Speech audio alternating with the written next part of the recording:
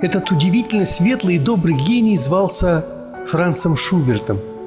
Его обожали друзья за мягкость и застенчивость, за редкое свойство делиться последним, ну и, конечно, за его огромный музыкальный талант. За 31 год своей жизни Франц Шуберт написал более тысячи сочинений. Конечно, если бы сейчас жил этот гений, то наверняка только авторские гонорары с одной «Авы Марии» сделали бы его богатым человеком. А тогда он был очень бедным учителем музыки.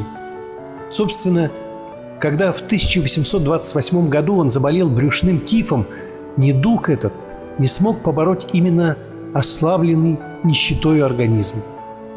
Любимый им Бетховен умер в 1827 году, Франц в 1828.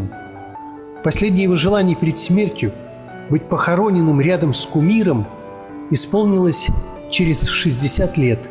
С тех пор они навсегда рядом, эти великие венские классики. Шуберт писал помимо музыки и стихи. И вот его последнее.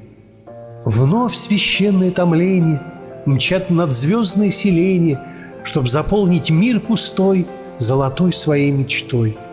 Бог Отец, страдальцу сыну Ты в награду за кручину Не спошли надежды луч. Ты единственный могуч. Словно присужденный к плахе, Пред тобой лежу во прахе — Пламя адово в груди, вижу гибель впереди.